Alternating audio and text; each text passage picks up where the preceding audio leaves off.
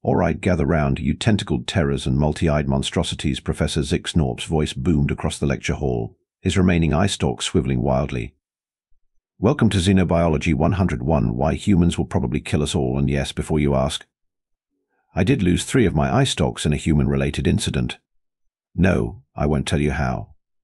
Let's just say it involved a birthday party and something called a pinata. A nervous titter rippled through the assembled alien students. Some shifted uncomfortably in their seats, while others extended sensory organs in rapt attention. Now, settle your various appendages and pay attention. This might just save your exoskeletons one day the professor's tentacles danced across a holographic interface, bringing up an image of a bipedal creature. Behold, the human. Nature's practical joke on the galaxy. A Glorpian student in the front row raised a gelatinous pseudopod. Professor, they look so, Squishy. How dangerous can they be? Zyx'norp's laugh sounded like a garbage disposal choking on a fork. Oh, my dear blob of innocence, that's exactly what the Zorgax Empire thought. Now they're a cautionary tale, and a rather unpleasant smear across three sectors of space. The professor began pacing, his six legs creating a rhythmic clickety-clack on the floor. You see, humans are walking, talking paradoxes. They're fragile, yet resilient. Primitive, yet ingenious peaceful, yet terrifyingly violent. They're like those puzzles that the Enigma species give as gifts frustrating, seemingly illogical, and likely to drive you insane if you think about them too long. He pulled up another hologram, this one showing a human smiling. This class is what's known as a smile. It can mean anything from I'm happy to see you to I'm about to disembowel you with a spoon context is key, and misreading it can be. Let's just say, unfortunate. A Vrexian student chittered nervously. But Professor, surely we can predict their behavior based on logical algorithms.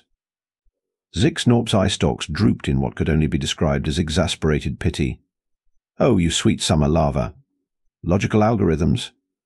When it comes to humans, you might as well try to predict a quantum particle's position with a broken abacus. He brought up a series of images humans in various activities, from bungee jumping to eating extremely spicy food. Humans, you see, have this fascinating and terrifying trait called thrill-seeking they intentionally put themselves in danger. For fun.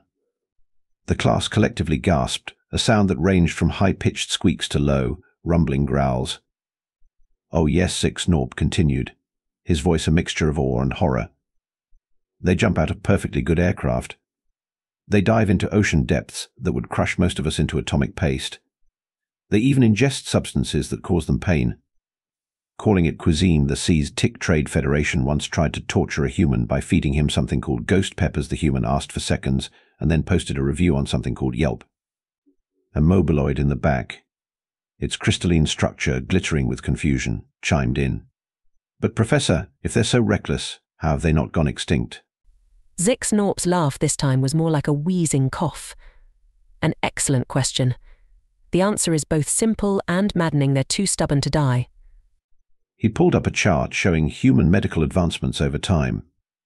Humans have this saying necessity is the mother of invention, but for them, near-death experiences are like, well, like a whole extended family of invention. They've turned near-extinction events into technological revolutions. The professor's tentacles gestured dramatically. Imagine, if you will, a species that looks at a fatal disease and thinks, Hey Shem, how can I weaponize this that's humans for you? They turned the deadliest plague in their history into a medical revolution that now allows them to regrow limbs and cure genetic disorders. A floaty fish student bobbed anxiously in its hover tank. But surely, Professor, we have technological superiority. Our civilizations have been spacefaring for millennia. Zyx'norp's eye stalks narrowed. Ah, the old technological superiority argument. Let me tell you a little story about that. The hegemony of utmost wisdom once decided to enlighten humanity by gifting them a small lunar outpost. You know, as a sort of galactic welcome basket. Two of your Earth years later. Humans had reverse-engineered the technology, improved it, and were selling cheap knockoffs back to the hegemony at a 200% markup. The class erupted in a cacophony of shocked noises. Oh, it gets better, Zyx'norp continued, his voice dripping with sarcastic amusement the hegemony tried to retaliate by unleashing a cyber attack on Earth's primitive networks. Know what happened? A group of human adolescents, hopped up on something called Mountain Dew and Doritos not only thwarted the attack, but also managed to rickroll the entire hegemony fleet. A confused murmur rippled through the class. Don't ask what rickroll means, Zyx'norp added quickly. I've been sworn to secrecy under pain of having to watch it for eternity. The professor pulled up another hologram, this one showing various human weapons through history. Now, let's talk about something that really sets humans apart their capacity for violence. A collective shudder ran through the classroom. You see, most species in the galaxy evolved to either fight or flee. Humans. They decided, why not both, and then added make it exponentially worse for good measure. He pointed to a simple stick. This is how they started, then he moved to a thermonuclear warhead. And this is where they were just a few centuries into their technological advancement. Any questions on the middle stages? No? Good, because it's a nightmare of increasingly creative ways to cause pain and suffering. A gloopy student in the middle row raised a pseudopod. But Professor, if they're so violent, how have they not destroyed themselves? Zyx'norp's laugh was now bordering on manic. Oh, they've tried. Multiple times. But here's the kicker, every time they bring themselves to the brink of annihilation, they somehow pull back and come out stronger. It's like watching a species play galactic scale chicken with itself. And winning. He brought up an image of the United Nations. They even created organizations dedicated to preventing their own self-destruction. Imagine that. A species so aware of its own violent tendencies that it has to create fail-safes against itself. The professor's tone suddenly became serious. But here's the real kicker, the thing that makes humans the most dangerous species in the known galaxy their ability to cooperate. A confused silence fell over the classroom. Oh yes, Zyx'norp continued. You'd think a species with their penchant for violence would be constantly at war with itself. And you'd be right, to a point. But threaten humans as a whole, and suddenly they're one big, happy, terrifyingly effective family. He pulled up historical footage of various human conflicts, then contrasted it with images of global cooperation in the face of alien threats. See this? This is humanity fighting itself. Brutal, messy, but somewhat contained. Now look at this humanity when faced with an external threat. It's like watching a quarreling family suddenly unite to beat the snot out of a home invader. As a Zapoid student crackled with nervous energy. But surely, Professor, we outnumber them?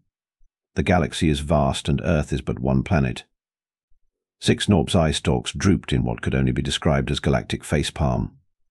Numbers? You want to talk about numbers? Let me tell you about the time the Hive Collective of Sector 7 decided to invade Earth with their million-strong clone army. The class leaned in, various appendages and sensory organs twitching in anticipation. The Hive thought they had it all figured out. Superior numbers, advanced technology, the element of surprise. They even picked humanity's most populous city for their first strike, thinking it would cause maximum panic. Zyx'norp paused for dramatic effect. Know what happened? The humans treated it like a spectator sport. They were taking selfies with the invaders for Zorp's sake. One human, armed with nothing but a baseball bat and a bad attitude, took out an entire platoon before his morning coffee. The class erupted in disbelieving chitters and gurgles. Oh, it gets better, Zyx'norp continued, his voice a mix of awe and horror. By the end of the day, humans had not only repelled the invasion but had also reverse-engineered the hive's cloning technology. A week later, they were selling grow-your-own clone kits as children's toys. He pulled up an image of a human child playing with what looked suspiciously like a miniature cloning vat. The Hive Collective, by the way, filed for galactic bankruptcy shortly after. Last I heard, they were reduced to running a chain of mediocre fast food restaurants in the Outer Rim. A brainiac student, its oversized cranium pulsating with thought, raised a spindly arm. But, Professor, surely there must be some way to neutralize the human threat, perhaps through diplomacy or cultural exchange. Zyx'norp's laugh this time was almost mournful. Diplomacy? Cultural exchange? Oh, my dear cerebral friend, that's exactly how they get you. The Eternal Empire of Zarxus VII tried that. They sent their finest diplomats, their most enlightened philosophers. Know what happened? The class held its collective breath. Two planetary rotations later, Half the Exarxian diplomats had eloped with humans, a quarter had started a reality TV show, and the rest were running a lucrative import-export business, specializing in something called avocado toast. He brought up an image of a Zarxian diplomat, tentacles entwined with a human, both wearing tacky Hawaiian shirts. The Eternal Emperor, the first might add, is now hosting a galactic cooking show. His spaghetti carbonara is to die for, apparently. A photosynthian student, its leafy appendages rustling with curiosity, raised a branch. Professor, you mentioned human cuisine earlier. Is it truly as dangerous as the legends say? Zyx'norp's eye stalks widened, and his colour shifted to a pale green. Ah, human food. Now that's a topic that deserves its own semester. Let me put it this way humans are the only known species in the galaxy that will knowingly ingest poison for pleasure. The class collectively recoiled. Oh, yes, the professor continued, his voice a mix of fascination and horror. They have this beverage called alcohol. It's essentially poison to their system. It impairs their cognitive functions, disrupts their motor skills, and can even cause long-term organ damage. And what do humans do? They build entire cultural rituals around consuming it. He pulled up an image of a human cocktail party. They gather in groups, deliberately poison themselves, and call it socializing its madness. A gravitonian student, its dense form causing a slight dip in the classroom floor, rumbled a question. But Professor, surely such behavior is limited to a small, risk-taking subset of their population. Zyx'norp's laugh was bordering on hysterical now. Oh, you sweet, dense child. If only. This behavior is so widespread that humans have invented countless varieties of this poison. They age it, ferment it, distill it, mix it with fruit juices and tiny umbrellas. They even have competitions to see who can create the best poison. He brought up a series of images showing various human alcoholic beverages. And it gets worse.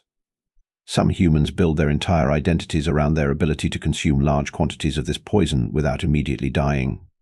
They call them lightweights and heavyweights, as if it's some sort of achievement. The Gravitonian student sank a bit lower in its seat, causing nearby students to float slightly. But here's the real kicker Zyx'norp continued, his voice dropping to a conspiratorial whisper. Humans use this poison as a social lubricant, a way to lower inhibitions and facilitate interactions. Half of their mating rituals involve this voluntary poisoning. It's like, like using a plasma grenade as a party sparkler. A telepathic twin student, its two heads in perfect sync, projected a thought. Professor, speaking of mating rituals, is it true that humans reproduce for reasons other than procreation? The entire class fell silent, various appendages and sensory organs twitching in anticipation. Zyx'norp's colour cycled through several shades before settling on a deep purple. Ah, yes, human reproduction. Or as they often call it, fun buckle up class, because this is where it gets really weird. He brought up a heavily censored diagram of human anatomy. Humans, you see, have turned one of the most fundamental biological imperatives into a recreational activity. They do it for pleasure, for emotional bonding, sometimes even out of boredom. The class erupted in a cacophony of shocked gasps, disgusted gurgles, and intrigued chirps. Oh, it gets better, Zyx'norp continued, his voice a mix of fascination and disbelief. They've developed entire industries around this activity. They have special garments, toys, and even educational materials. They call it adult entertainment, though I assure you, most adults of other species would find it more terrifying than entertaining. A quantum fluctuation being, its form shimmering in and out of reality, managed to stabilize long enough to ask a question. But Professor, surely such. Unrestrained behavior must lead to rapid overpopulation. Zyx'norp's laugh was now tinged with a hint of admiration. You'd think so, wouldn't you? But humans, in their infinite capacity to complicate everything, have developed numerous methods of contraception. They've effectively separated the act of mating from its biological purpose. He brought up an image of various human contraceptive devices, causing several students to avert their sensory organs in embarrassment. And here's the real mind bender the professor continued, his voice dropping to a dramatic whisper. Some humans choose not to reproduce at all. They call it child-free, imagine that. A species so advanced, so contrary to basic biological imperatives, that they can simply opt out of reproduction. The quantum fluctuation being flickered rapidly, as if struggling to process this information. But Professor Hive Mind collective student buzzed, its thousand tiny components vibrating in unison. If humans are so chaotic, so unpredictable, How do they maintain any form of social order?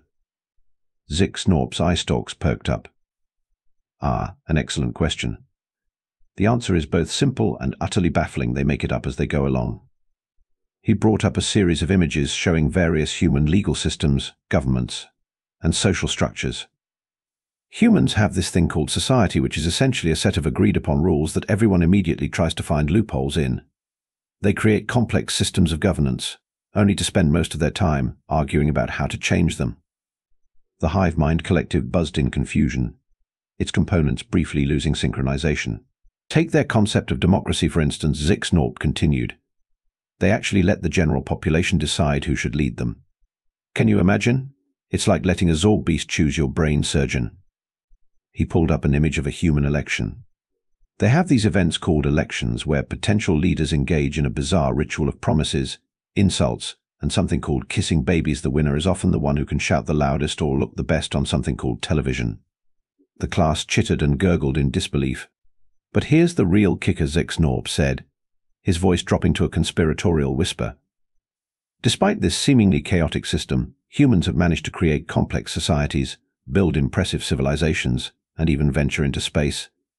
It's like watching a Flumberian juggling octopus successfully perform brain surgery while riding a unicycle.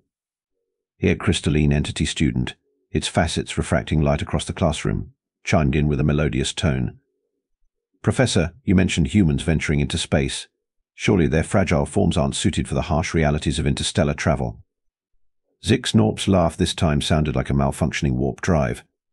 Oh, my sparkling friend, you've just stumbled upon one of the greatest paradoxes of human existence. Their bodies are indeed woefully unprepared for space travel. So what do they do? They decide to go anyway. He brought up images of early human space exploration. Look at this. They strapped themselves to giant tubes filled with explosive chemicals and hurled themselves into the void. Their first vessels were essentially tin cans held together by hope and something they called duct tape. The class collectively winced, various appendages and sensory organs recoiling in horror. But wait. It gets better, Zyx'norp continued, his voice rising in pitch. When they realized their bodies couldn't handle the rigors of space, do you know what they did? They decided to change their bodies, he displayed images of human spacesuits and various biomodifications.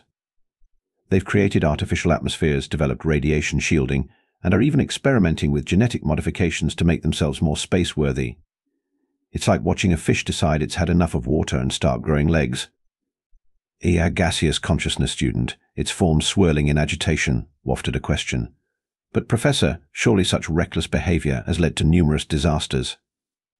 Zyx'norp's eye stalks drooped slightly. Ah, yes. Humans are no strangers to tragedy. They've lost brave explorers to the unforgiving vacuum of space, had ships disintegrate upon re-entry, and faced countless near misses. But here's the truly baffling part every disaster only seems to make them more determined. He brought up images of various human space memorials. They honor their fallen, learn from their mistakes, and then double down on their efforts. It's simultaneously admirable and terrifying. Imagine a species that looks at the deadly vacuum of space and thinks, challenge accepted. The gaseous consciousness student condensed slightly, as if trying to make itself smaller. But let's move on to something even more perplexing, Zyx'norp said, his tone shifting to one of bemused wonder. Let's talk about human entertainment. He brought up a series of images showing various human leisure activities. Humans, you see, have turned the act of doing absolutely nothing productive into an art form. They call it relaxation or downtime and they consider it essential for their mental well-being. A perpetual motion entity student, its form a blur of constant movement, vibrated in confusion. Professor, are you saying humans voluntarily choose to be inactive? Zyx'norp's laugh was a staccato of disbelief. Oh, it's so much more bizarre than that. They create elaborate fantasies, entire fictional worlds, for the sole purpose of temporary escapism. They call it entertainment. He displayed images of human movies, video games, and books. They spend countless hours immersed in made-up stories, pretending to be people who don't exist, solving problems that aren't real. And the truly mind-boggling part, they pay for the privilege. The perpetual motion entity's movements became so erratic it nearly phased through its desk. But it gets even stranger, Zyx'norp continued his voice rising with excitement. Humans have competitions where they watch other humans play games. Not for survival, not for mating rights, but just for fun. They call it sports, and it's practically a religion for some of them. He brought up images of various human sporting events. Look at this. Thousands of humans gathered in one place, watching a small group of other humans chase a ball around. They cheer, they cry, they paint their bodies in garish colors. It's mass hysteria, sanctioned and celebrated. The class erupted in a mixture of fascinated chirps, bewildered gurgles, and horrified shrieks.